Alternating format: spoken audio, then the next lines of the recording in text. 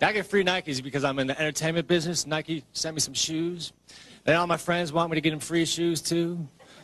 So I got called to Nike Corporation and say, hey man, my feet have been fluctuating. and I'm starting to like the women's styles too.